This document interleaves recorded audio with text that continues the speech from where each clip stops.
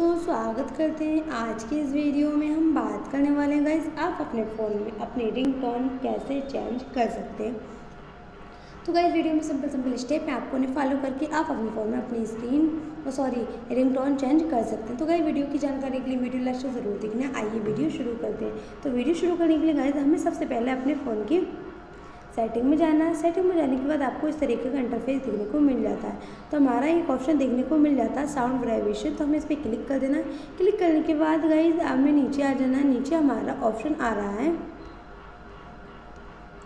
नीचे हमारा ऑप्शन आ रहा है एडलन सेटिंग तो हमें इस पर क्लिक कर देना। क्लिक करने के बाद आपको जो भी अपने फ़ोन में, हमें अपने फ़ोन में रिंगटोन चेंज करनी तो हमें इस तरीके से साइलेंट विच मीडिया पे स्टार्स मोड पे क्लिक करना है। साउंड ऐसे तो हमें इस पर क्लिक कर देना। यहाँ पर आपकी रिंगटोन देखने को मिल जाती है।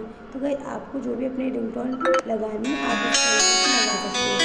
तो वीडियो पसंद आई हो तो शेयर करें लाइक करें चैनल पर नए हो तो चैनल को सब्सक्राइब करें। मिलते अगली नेक्स्ट वीडियो में, तब तक के लिए bye bye and take care